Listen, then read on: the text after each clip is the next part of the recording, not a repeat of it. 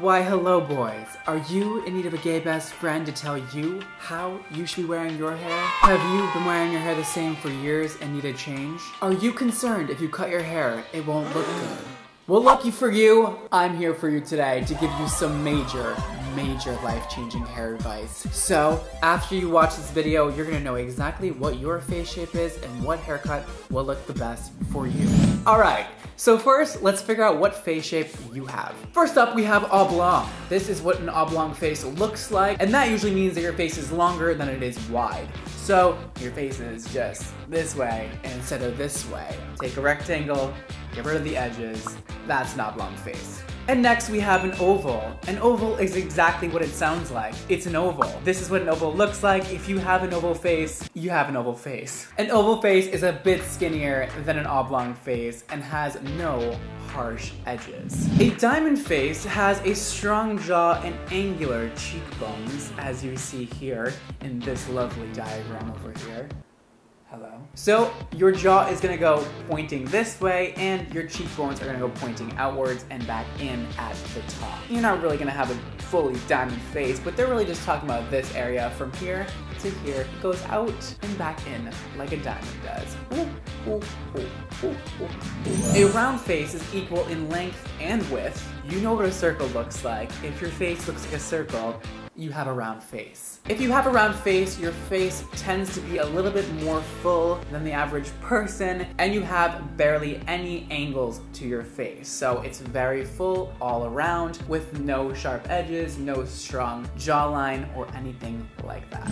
And the opposite of round is gonna be square, which brings us to our next face shape. A square is gonna be very, very, very angular. All right, you're gonna have that very sharp jawline. Everything is going to be very equal on both sides very wide, but also very sharp. This also tends to be the most masculine looking face shape. And the triangle face shape, which is slightly almost a little bit more masculine than the square face. It has a very, very prominent jaw that is even wider than the cheekbone. So if your jawline protrudes farther than your cheekbones, you probably have a triangular face shape. All right, now that you successfully figured out your face shape, congratulations. And if you didn't figure it out, rewatch the beginning of this video look in a mirror, you'll figure it out. Now that we know your face shape, we can move on to what haircut will look best for your face shape. Now, what is the goal? What are we trying to get done here? So whenever you ask somebody what the best haircut is for your face shape when you are a male, typically they're giving you advice on how to make your hair look the most square it could possibly look. That is because a square face shape is the most masculine face shape and the most desirable for men. So in this next part, I'm gonna tell you how you can make yourself look the most masculine as possible with the the correct haircut to take away the bad features and bring the good forward. So if you are not trying to look as masculine as possible, this might not be the best video for you. And by no means do you have to look masculine if you are a male. You can look feminine, you can be androgynous and beautiful, and if you're trying to make your face shape look more feminine, then maybe you should head to my other video where I explain what is the best face shape for females. So if you are a male, you wanna look more feminine, head to that video and you'll see.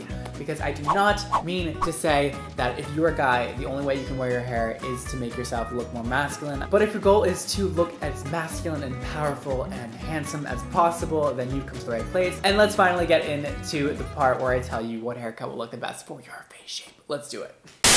Hold on. Sorry, I, I know I, I, interrupted you while you were watching my video, but I have one thing to say. Today's video is sponsored by Green Chef. Thank you, Green Chef. And if you like food as much as I do, you're gonna not wanna skip over this part. If you didn't already know, Green Chef is a USDA certified organic company. And Green Chef can hook you up no matter what your diet is. Paleo, vegetarian, vegan, keto, pescatarian, gluten-free, and omnivore. Ooh, they got everything you need. Let's get a cooking.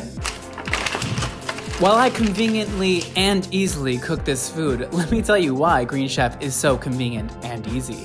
Let Green Chef do the meal planning, grocery shopping, and most of the prep for you week after week. Recipes include pre made sauces, dressings, and spices, so you get more flavor and less time. Ingredients come pre measured, perfectly portioned, and mostly prepped. You know what that means? You'll have more time to style your hair and go get the haircut of your dreams. I outdid myself. again. If you guys would like $50 off, yes, $50 off your first Green Chef box, head to greenchef.us backslash Brad Mondo. Again, greenchef.us backslash Brad Mondo. It'll also be linked down below in the description box. I got you, girl. All right, well, I'm gonna continue to stuff my face off camera, and you can continue watching my video. So the oblong face, like we talked about before, is longer rather than wider, and is basically a rectangle without the edges on it. So with an oblong face, in order to make it look more square, we want to take down on the length of the face. So we're gonna bring it from here to here. So how do we do that, you're asking? Well, I'm glad you asked me. You can always do a side swept bang situation like this. You can do a full fringe like this. You can do a sort of bowl cut if you want to be really trendy. Or if you are not here for the bang situation, like I recommend then you can always rock a shorter haircut. That way you're not bringing any bulk up here. So a pompadour like what I have right now on my head is gonna add to the length of your head. So you're trying to make this part as flat as possible. So generally you wanna keep your hair length as short as possible when you have an oblong face. That way you're not bringing any more attention and you're not adding length to your already longer face. If you have an oblong face, I would definitely not recommend having a full beard or anything like that. That's just gonna add to the weight of your face and make it look even longer So if you want some facial hair, just kind of do like a little scruff moment. So add a bang or keep your hair short if you have an oblong face. Now onto ovals. This is an oval face. If you forgot already what an oval looks like, I know it's a hard one. And if you have an oval face, our goal is to make you look a little bit more angular with the type of haircut that you get. So I usually recommend to male clients with an oval face to get a fade because a fade like this one here, very short on the side and you have that little pompadour moment going on the top, usually it's gonna make your face look more angular because it's gonna give you that really sharp buzz cut on the side and then the length on the top. So that's gonna make a square shape on your head like this. It's gonna trick the eye when it looks up here and sees the angles that this part down here is more angular also. But if a really tight fade to pompadour situation like this is not your style, then you can also rock a haircut like this. Just make sure that the sides are slicked back as much as possible to give you that more angular feel on the sides. And then you can style the top as square as possible. Like I would consider this a square because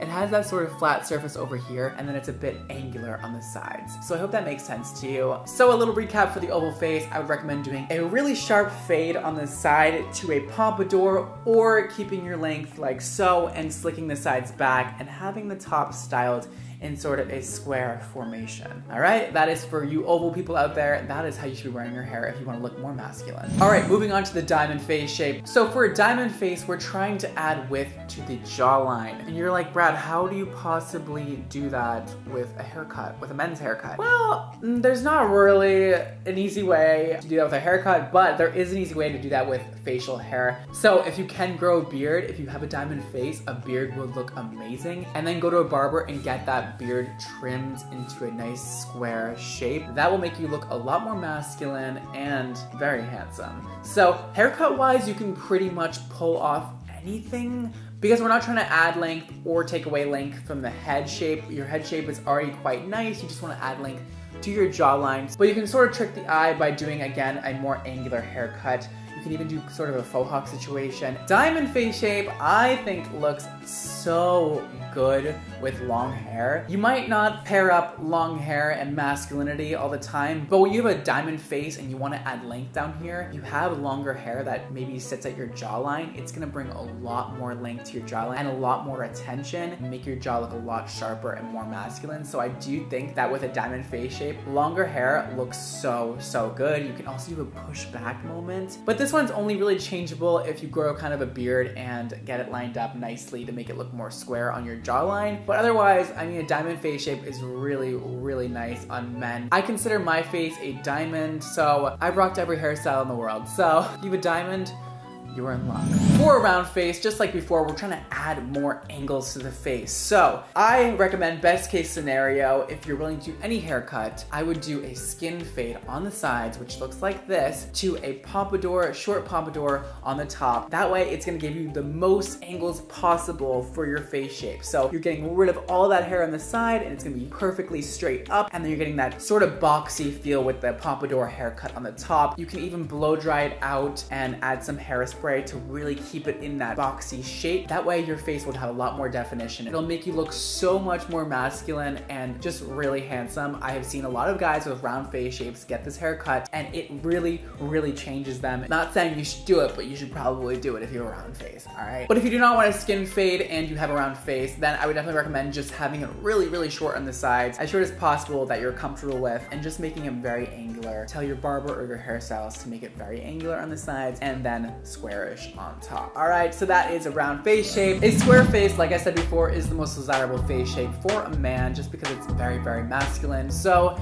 if you have a square face, you can rock a lot of things. You can do a buzz cut. Buzz cuts look so damn hot on guys with square faces. So if you have a square face, get that buzz cut going. Come on, do it. Anything pompadour looks great. You can also do more trendy haircuts like a textured comb over. You can do bangs, you can do side swept, or you can do sort of a generic crew cut. Anything like that will work great for your face shape because you already do have the desirable face shape. The only thing I would say to stay away from is things that make a lot, a lot of volume up here. Nobody looks good with that. This is already a lot of volume for me. If I went any higher than this, my face shape would just look a lot longer and not good. So just stay away from that. Other than that, you're all good. You can do literally any haircut. Try something trendy. Try something new. There's a lot of things you can do. All right, and lastly, the triangle face shape, this one right here. For this one, I would generally say to stay away from facial hair or just too much facial hair, anything past the length of like a centimeter. When your jaw's already past your cheekbones, you don't wanna add any more length on it or it's gonna look really wacky and just like off misshapen and weird. So this face shape's perfect for a nice, like a little bit grown out haircut that ends kind of around your ears and meets at your cheekbones. That way your cheekbones look a little bit more prominent and wide. That way it meets up with your jawline and makes your face look all around more square. This is kind of a picture of what I'm talking about. I would not recommend doing a buzz cut or anything really short with this haircut because it's gonna accentuate the fact that this part of your head is smaller and this part of your head is way bigger. I would off balance your wide jaw with a little bit more of a mid-length haircut or a bit of a longer haircut ending at the cheekbone.